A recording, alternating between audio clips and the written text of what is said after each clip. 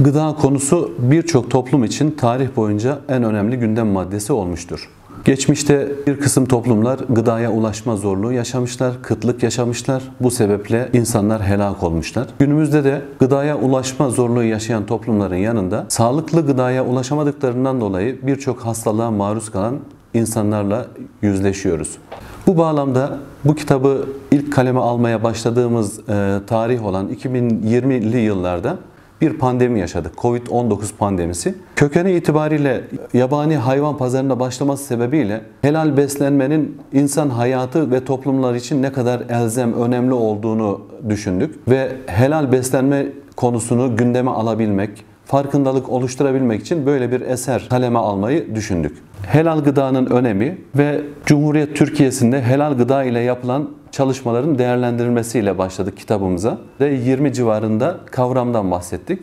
Helal gıdanın tarihi sürecinden bahsettik.